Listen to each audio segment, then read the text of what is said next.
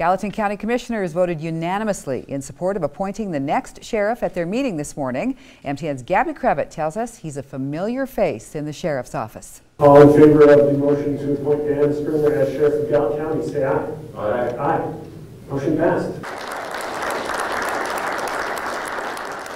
On Tuesday morning, interim Sheriff Dan Springer was appointed by commissioners to lead the Gallatin County Sheriff's Office until December 31st, 2022. Springer served as undersheriff for 12 years. Now he'll finish Brian Gootkin's term. Gootkin left to become the head of the State Corrections Department at the end of last year. Springer says he's humbled and honored and ready to hit the ground running. Today, we are continuing to try to develop people. I find that the, the more you can invest in them, the better they'll serve the community and a better product the community will, um, will see from the Sheriff's Office. Springer says a short term goal is increasing security at the Law and Justice Center after recent events. Long term, I'd love to see body cameras and get the policies implemented and get that out to the public so that um, deputies and public can be held accountable. I think it's a great opportunity for us.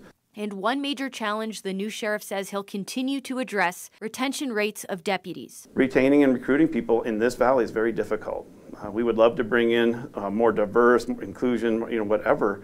But the issue becomes that it's tough to bring someone from the outside into this community given the, the cost of living, uh, the pay. And so that is something that is a, going to be a big um, challenge for not only us, but for the commission as well. Reporting in Gallatin County, Gabby Crevitt, MTN News. The next election for Gallatin County Sheriff will be November of 2022.